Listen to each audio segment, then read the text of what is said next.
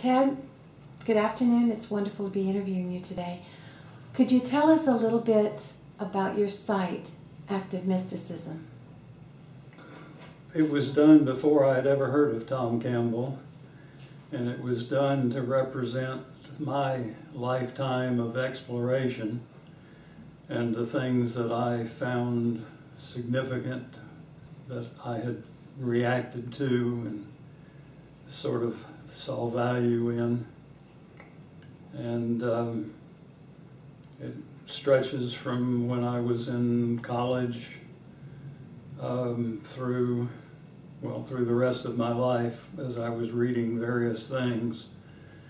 Um, and basically, I would say that I I could see that there were all of these different things, and they all really fitted together and provided a, a, a picture, an understanding that we, well, we don't have the objective reality of science, and that there are many ways of looking at it.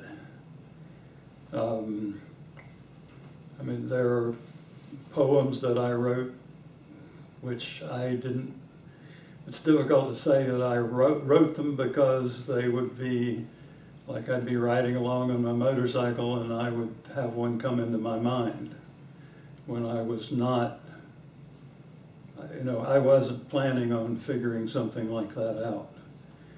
And it might come one line at a time and I would remember it until I would be stopped and could write it down.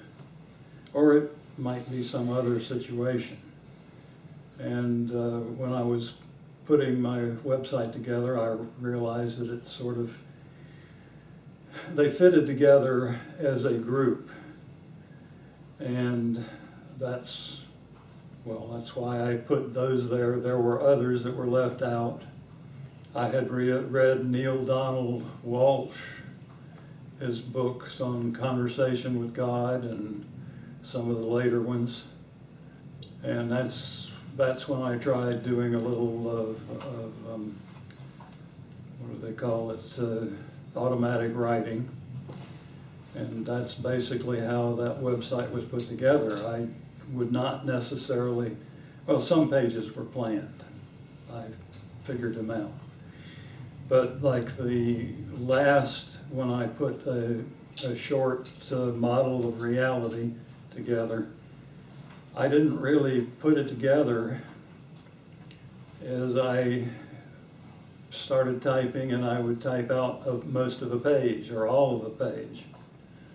And then I would do another page. And then I would do another page. And then I would go back and maybe add something and then I would figure out what order they had to go in. Um, but it wasn't planned on my part. Um,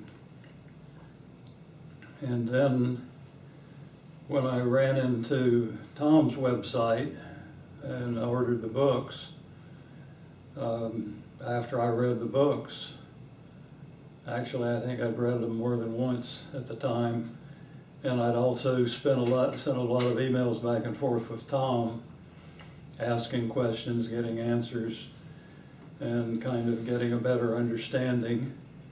Uh, I redid that, the last section based on revisions after, after my big toe.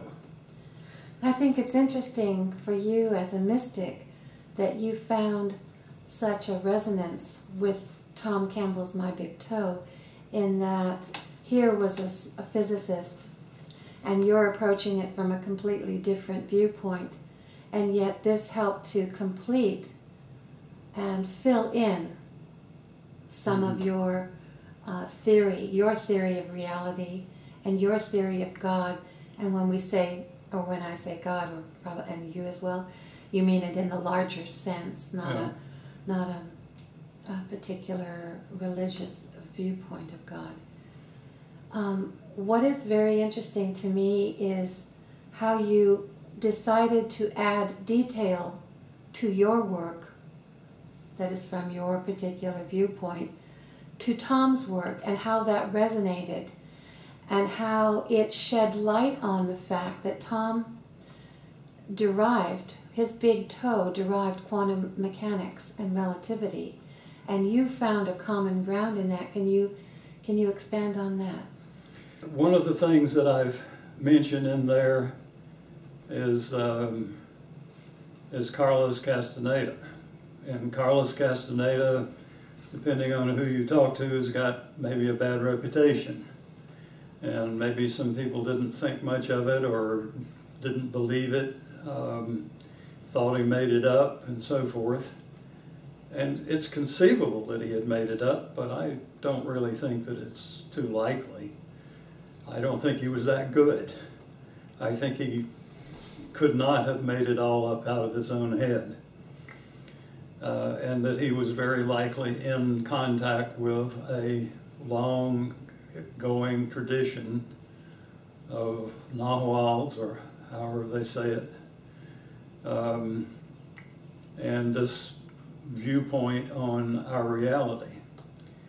But they had, as part of that viewpoint, they stopped at a point.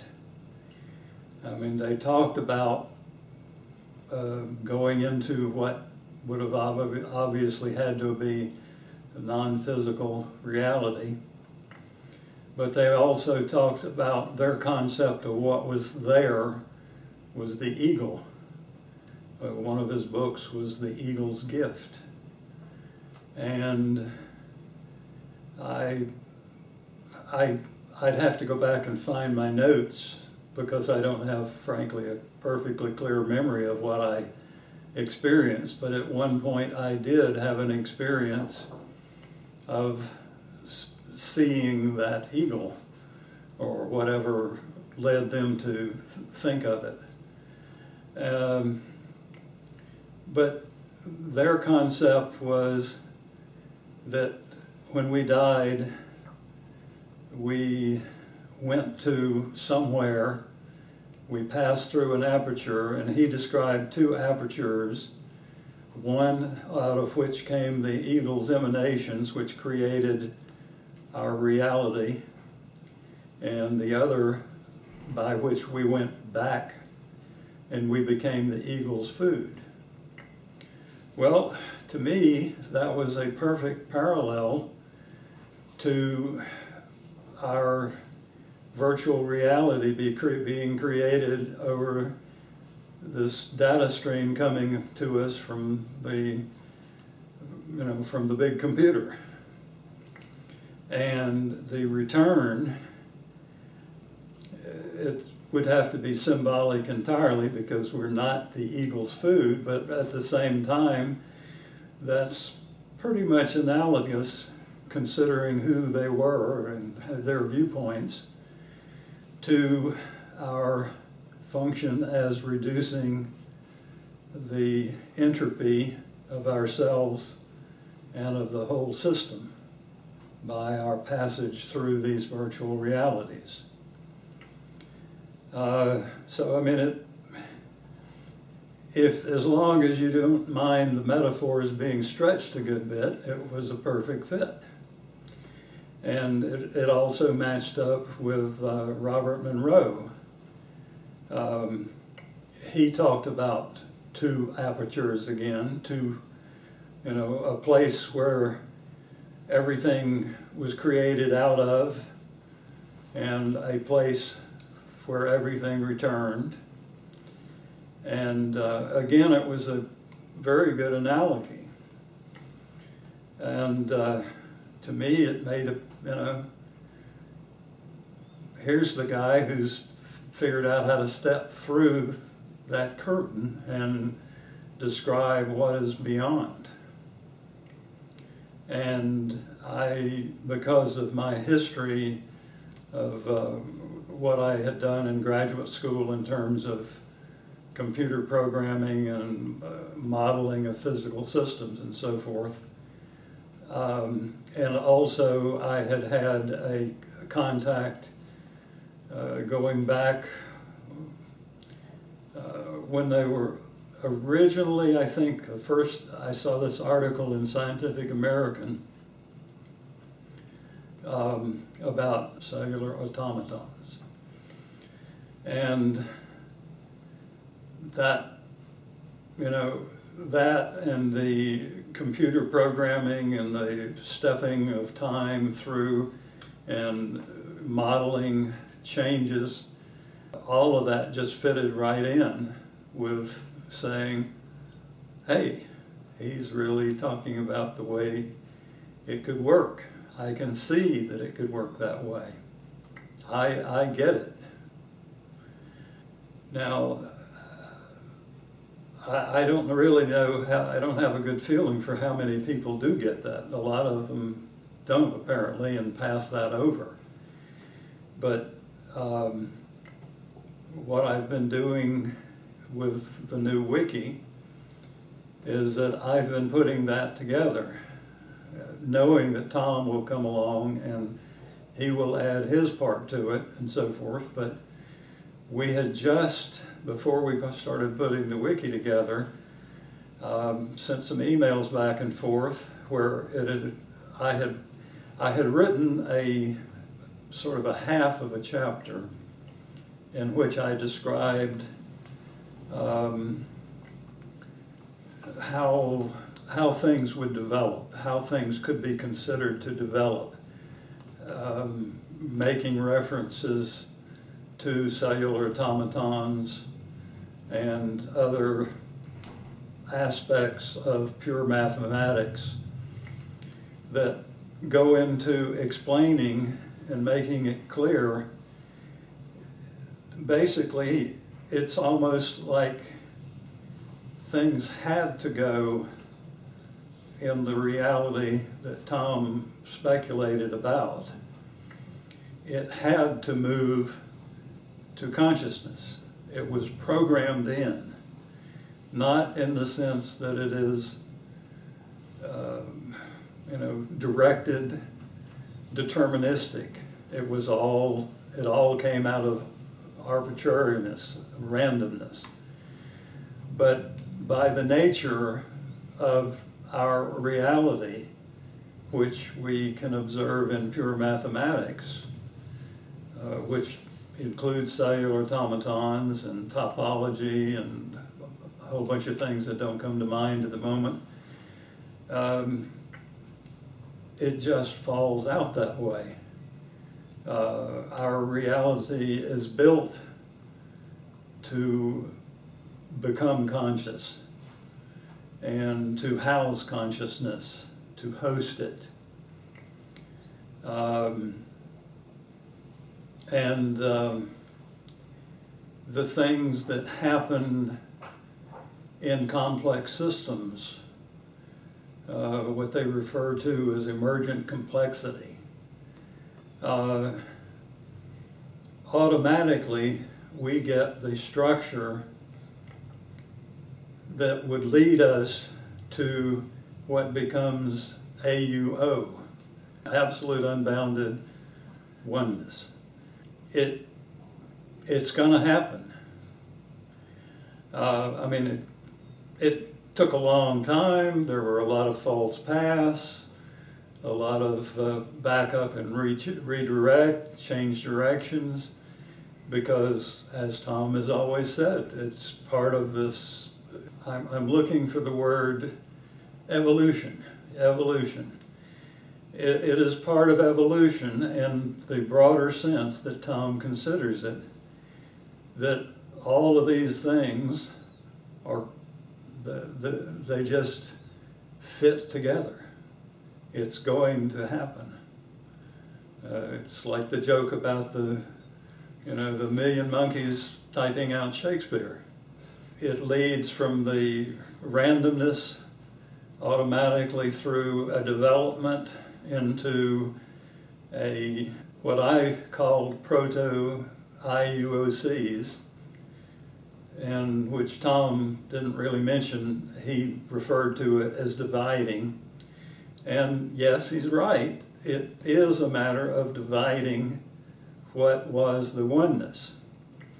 But these were inherently generated in the processes that uh, pure mathematics discovers in, um, well, things like the internet or economies or ecologies.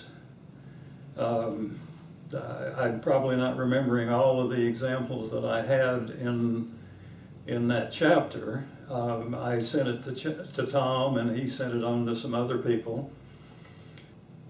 It all just fits together and basically it's like it had to happen this way, except it didn't. You know, it, it took an awful lot of trial and error and it, eventually it it automatically leads to this AUO, which isn't really thinking, doesn't really have consciousness yet. But we're, we're automatically setting up these islands of digital stability that communicate over something that becomes the reality wide web and as they send their messages back and forth, they automatically, eventually, some of them develop pattern matching and pattern matching of patterns, and it just gets more and more complex and more and more integrated. And we still have to go to Tom's metaphor of the bootstrapping because no one has ever done this in a PMR computer as yet. They're, they're thinking about it, but they haven't done it yet. And how long it'll be, we don't know. But we know that it has a lot to do with pattern matching. When you say pattern matching and this basic primitive evolution, are you speaking of the fractal nature of things? Well, that's that's part of it, but um, the the fractals and all of these other things, there's a pattern that gets followed in reality, in, in consciousness space, where they get a great deal of mileage, complexity, building and building and building on building on top of building on top of things from taking a simple rule set and repeating it. And that's basically what fractals are.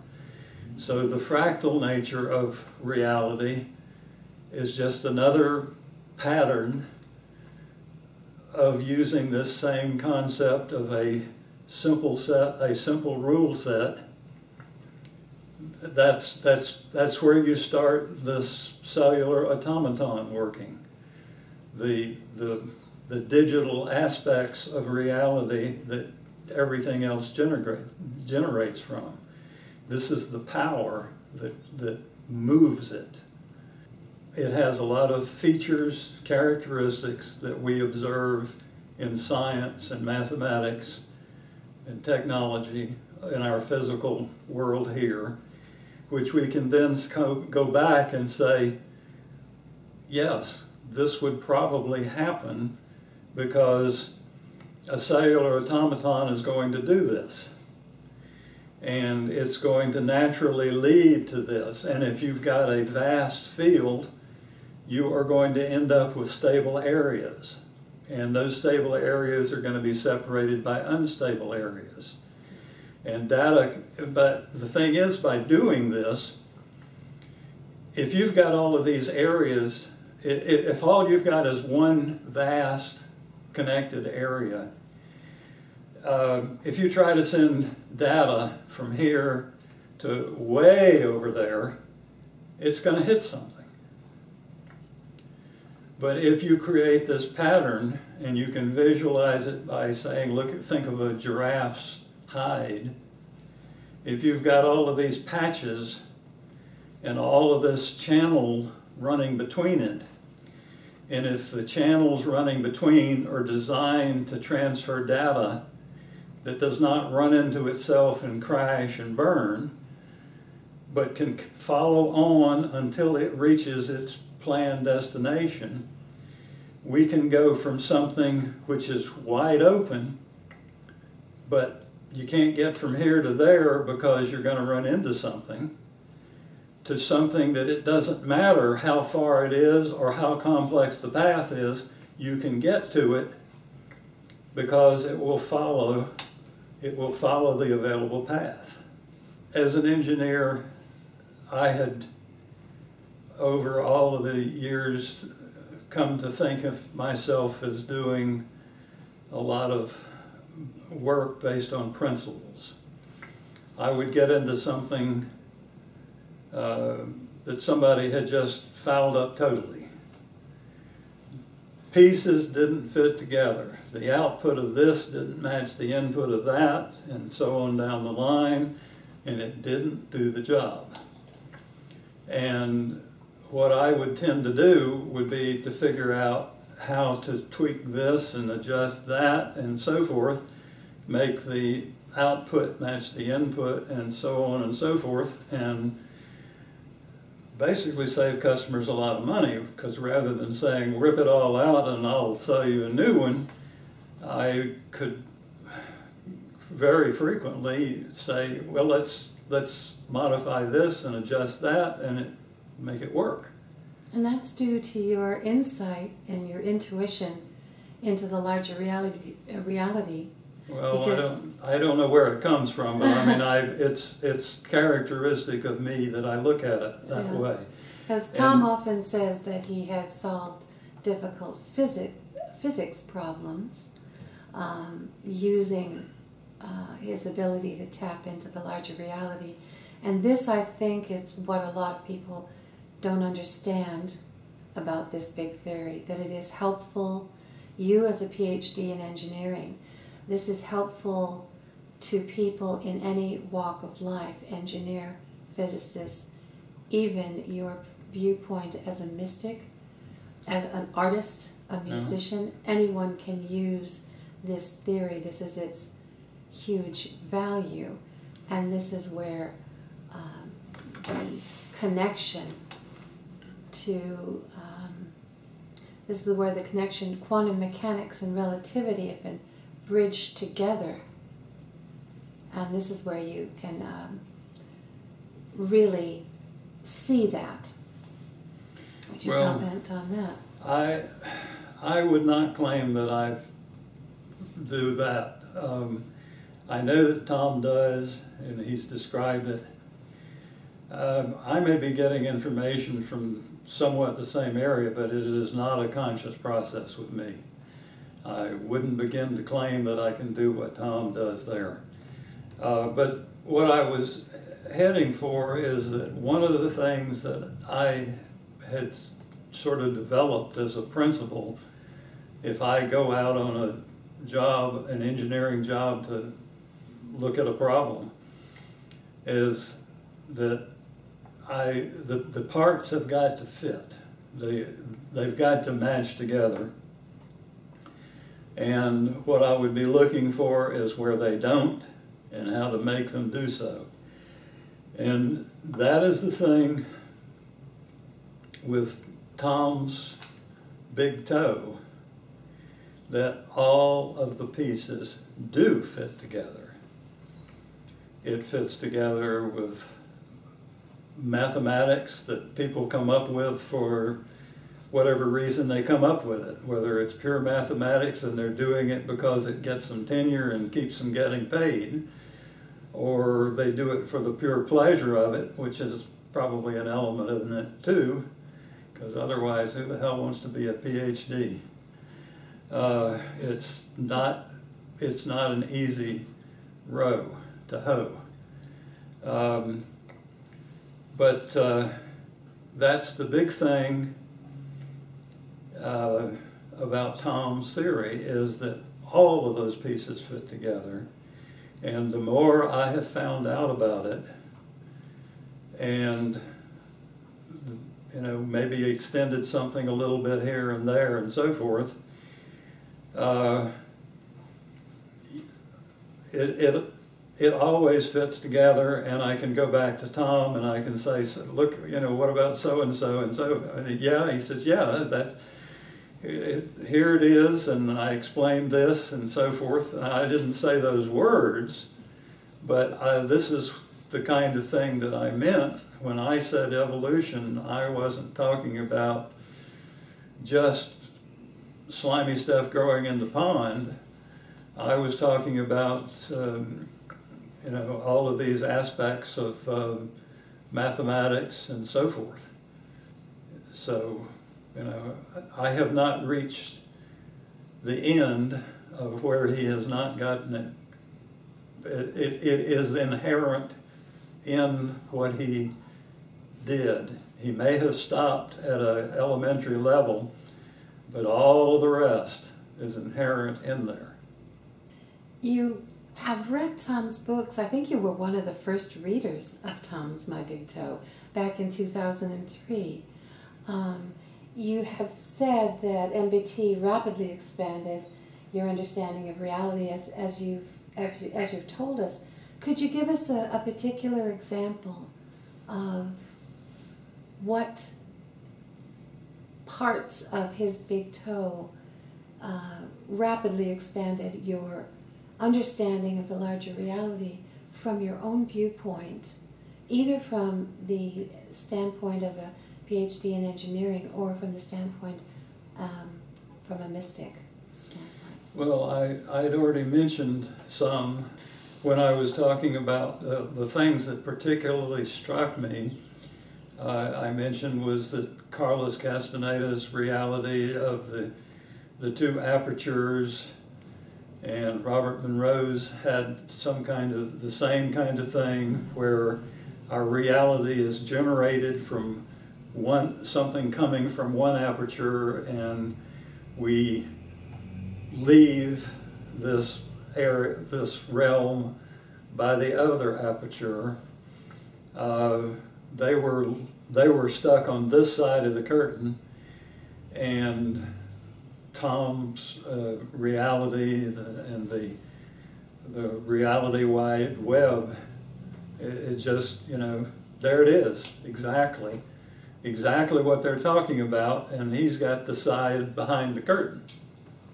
Have you delved into you are an explorer the larger reality because of your natural talents and your understanding what other aspects of the larger reality have proved to be helpful to you?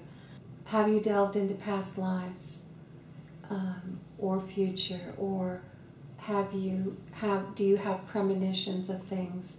And I know all of this fits into Tom's theory, big theory of everything.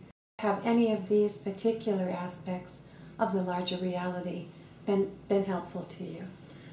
Uh, well, they have existed. I don't know about saying that they were helpful. Um, I mean, there is a, I, I have a close friend, and she appears to be someone that has been set up to be my purpose to try to help her get through this lifetime.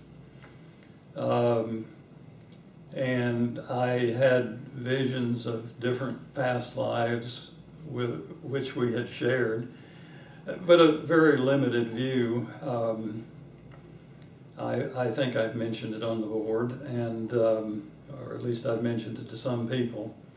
The only real premonition that I could say that I've had is before uh, the morning of 911 and lots of people had th similar things, or maybe not similar, but I mean premonitions of that. Um, I just started having these strange dreams. Basically, I was I for no for no explained reason I had parked my truck in front of a building that I knew. It was nighttime and as I was walking back to my truck, um, the shadows of the plantings around the building sort of, you know, like started rising up and turning into something on the nature of uh, Doberman pincers. and started towards me, and I was quick. Uh, I was I carried a pistol in my truck, so I was trying to get the door open and get to it. But before I could get to it, the dog, um, the first dog, got to me, and I threw up my arm, which knocked its head up, and managed to pull out my knife and stab it in, you know, up through the belly into its heart. And this message came to me that the, the forces of evil are coming out into the light. I went back to sleep and did not sleep well, but I finally went back to sleep. And I was living with my mother at that time, taking care of her and my father. And uh, she said, Come and see what's on television. And the first plane had already crashed.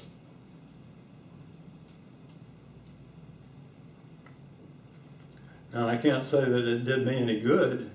It, I didn't, you know, I didn't know what the warning was about. I couldn't translate it into calling somebody and say their plane's being hijacked, but a lot of people had some kind of imagery like that. Or you know they knew something was going on. There was a disturbance in the force. That's happened to me seeing things but what to do with it? What to how to interpret it to actually apply it to something else but that is the uh, that's the um, difficult part is what do you do with it perhaps nothing perhaps you're not supposed to do anything with it well, but simply understand that you're receiving a message. Yeah, well, that's what people try to do out of body. McMoneagle with um, with his um, uh, distance viewing, that kind of thing. They they would like to do something like that.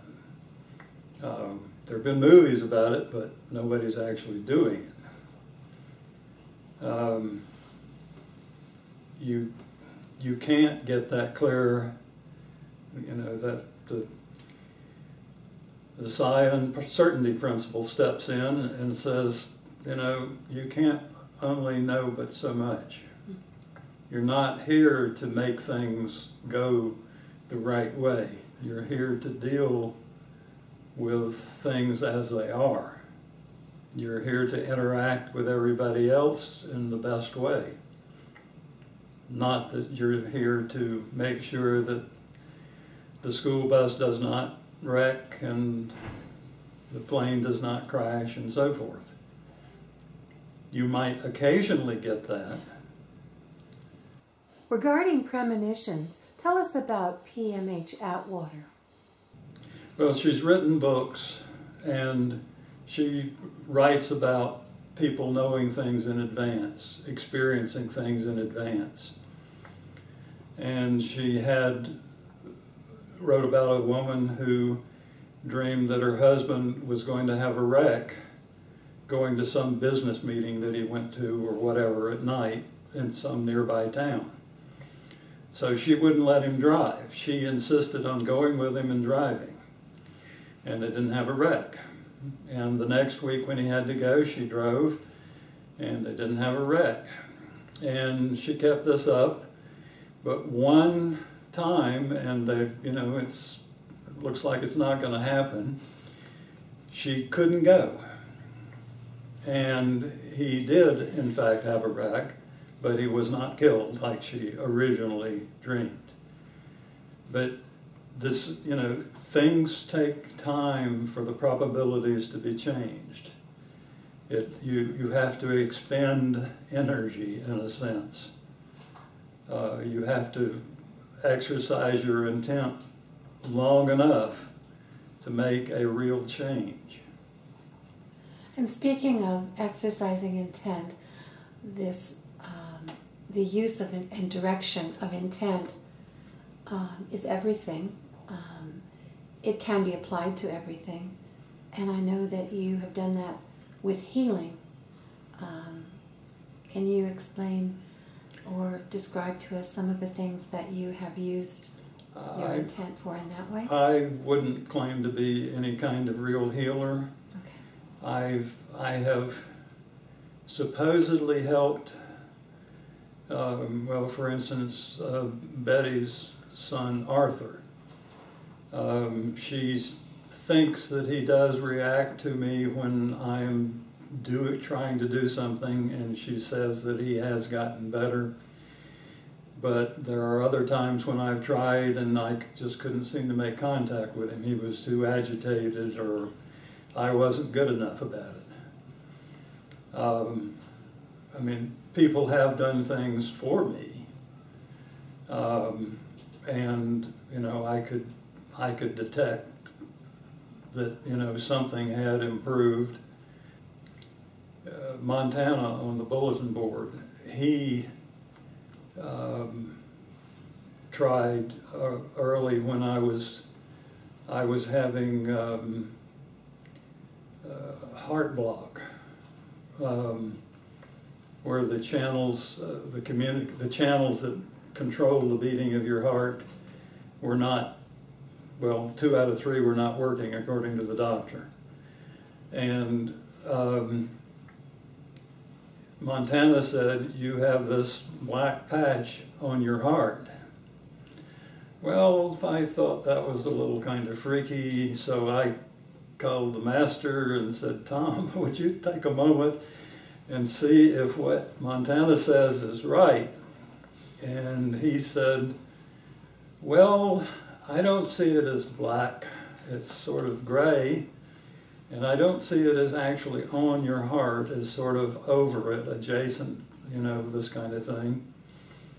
And so I got kind of inspired, and I, I don't know whether I had a vague memory or what, or something whispered in my ear, but I looked up this ankylosing spondylitis website, and there is relatively rare, something like 1% of men with ankylosing spondylitis get this, where they get, um, it's not infection, it's um, inflammation. Inflammation is the word I was looking for.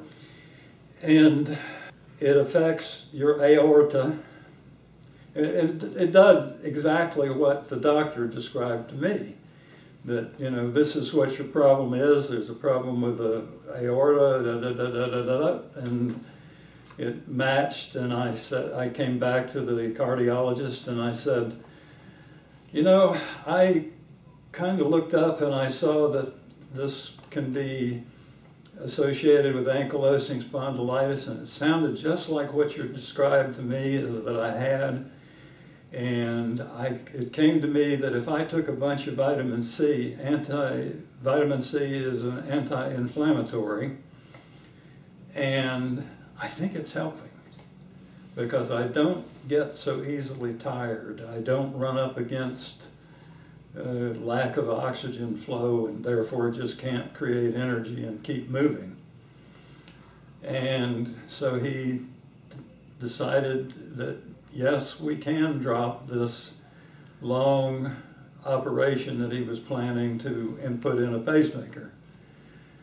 So yeah, there are things you can do with it. Um, uh, and I, it's probably better to help each other than it is just to try to do it for yourself. Um, that was a collaborative effort between Montana and Tom and whoever whispered in my ear to look up some of this stuff, and it worked. Um, I can walk around with, I mean, I still have problems walking because neural connections to my legs and things like that. But I don't just run out of gas because I can't pump enough blood and therefore oxygenate my body. You have called, um, Tom uses a lot of acronyms um, in his My Big Toe, and you have uh, one of your own, VRRE. Could you tell us something about how that came about? Well, Tom had used the generalization of the big computer, and I'm not saying that it's anything but the big computer. but it was a way to envision how it would do that part of it because while it's doing the basic generation and projection ahead cycle by cycle by cycle of the reality it's um, it's doing that by probability. It isn't going to be moving your hand in your visual field or moving the other person or having the wind blow the bushes around based on probability entirely. It's it's got to say move, move, move, move. And because of my work that I've done a lot of in latter years of uh, CAD or computer aided design or drafting, I knew about rendering engines. I mean, that, that's what they're technically called. And it occurred to me that it would be a good idea to add some extension explanation to just saying the big computer did it in terms of saying exactly how the big computer does it in terms of fitting in with fractals and so on and so forth. And it makes it makes good sense in terms of you know it's something we don't have to calculate if you can't commun- if you can't view that fractal if you can't observe it.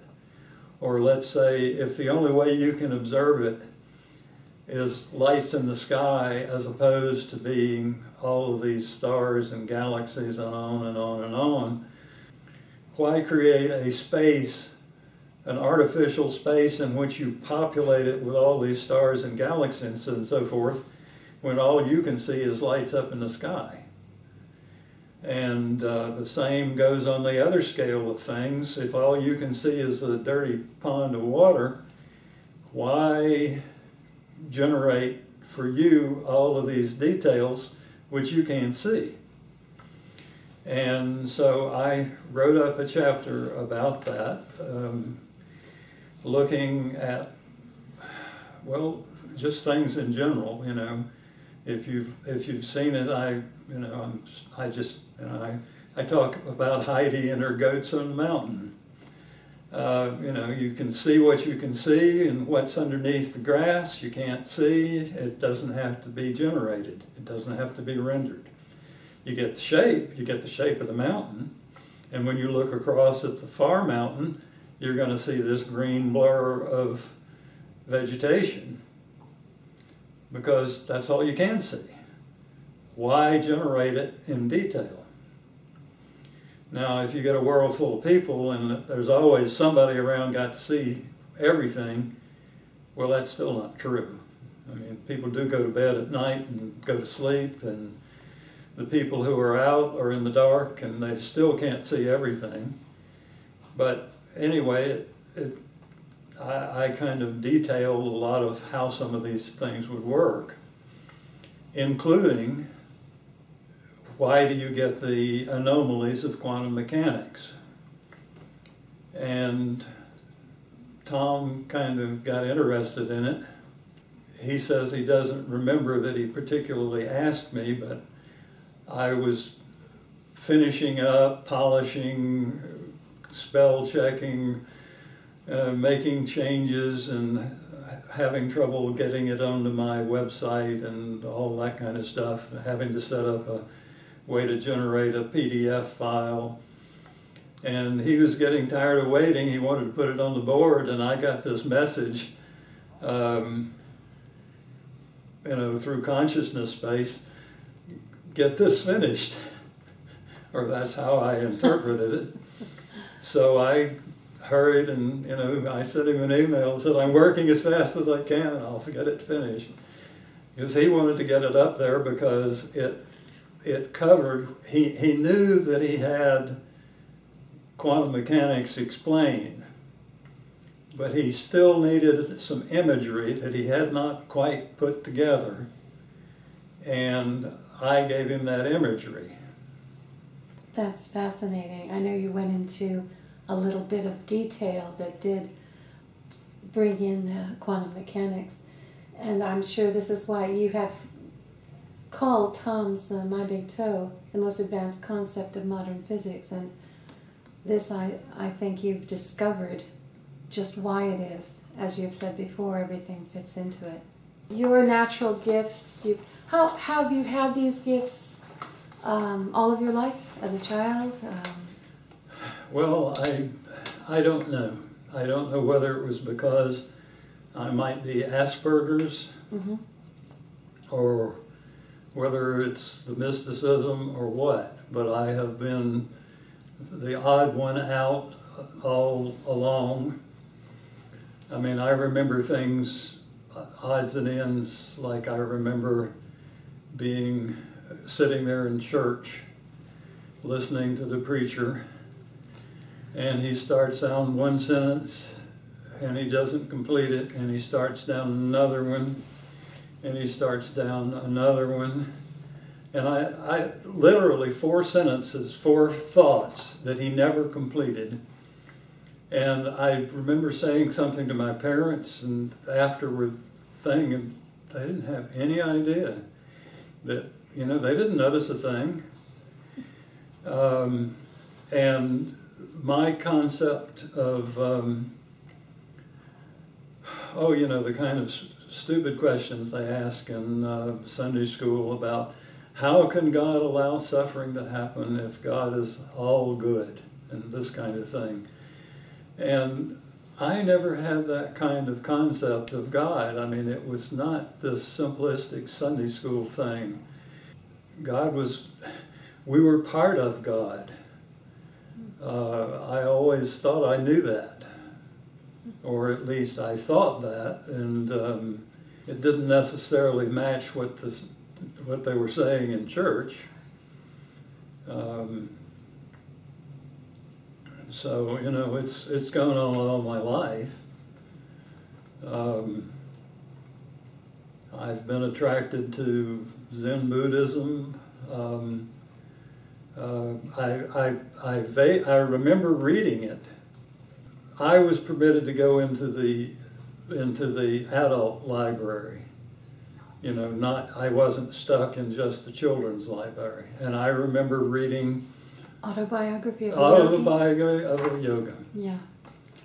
Can't remember who wrote it, but that was uh, Yogananda. mhm.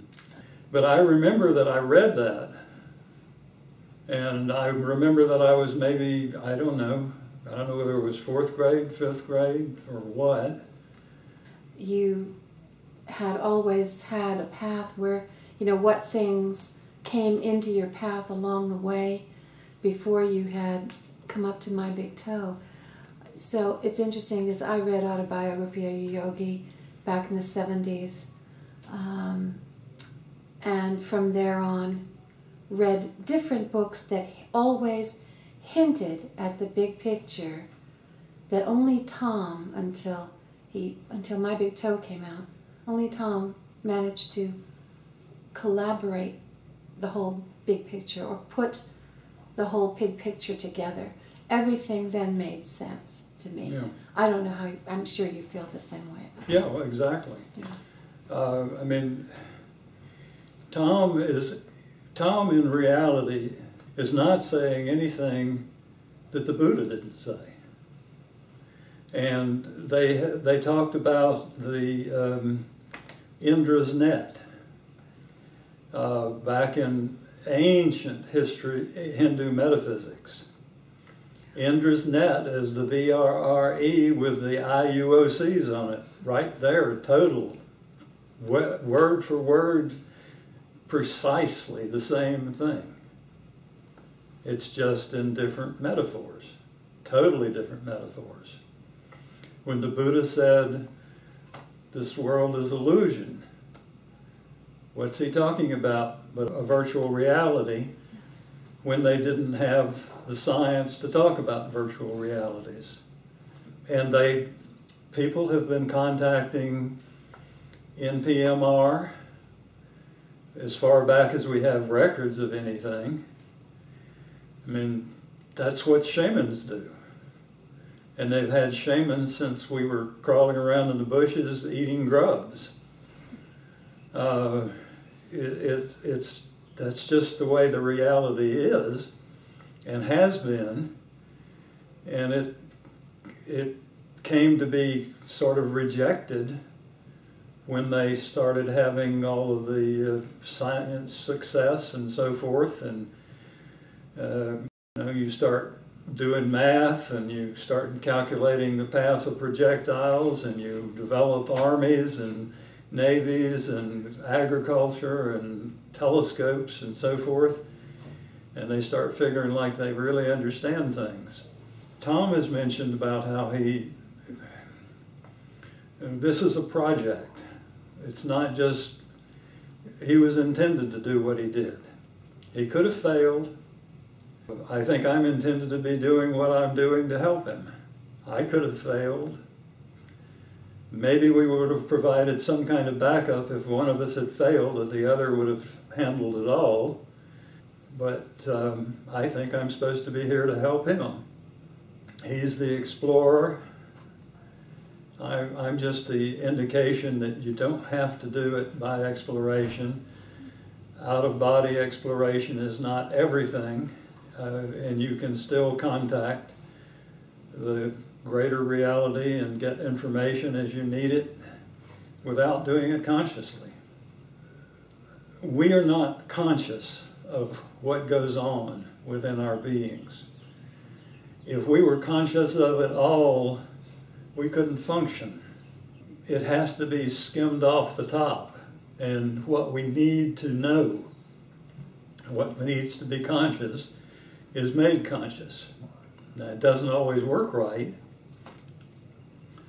Some people get obsessive, obsessive compulsive, and they they think round and round and round about the same thing. Well, that's going round and round and round in your digital reality, but it gets shunted aside and the decisions get made on other bases.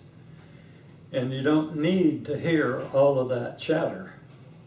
There have been people, um, uh, Suzanne Segal, uh, she wrote a book about how she was, um, she had fooled around with transcendental, med transcendental meditation, knew something about it. She was pregnant, she was on the way to visit her, her doctor, she was stepping up on the bus, and a switch got turned. And all of a sudden, she had no more thoughts in her head. She would say things and do things, and she didn't know why. I mean, she kept on with her life, didn't miss a beat. But it scared the hell out of her because all of a sudden she wasn't there anymore. And not only that, but her field of view, instead of coming, you know, appearing to be out of her eyes, was about uh, two feet behind her and a little to the left, seeing the back of her head in her field of view, which kind of freaked her out. Well, I, I know somebody who periodically experiences something like this. Her field of view changes, and she can see herself in her field of view.